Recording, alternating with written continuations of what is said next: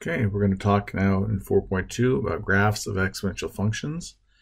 Our learning outcomes are graph exponential functions and graph exponential functions using transformations. Okay.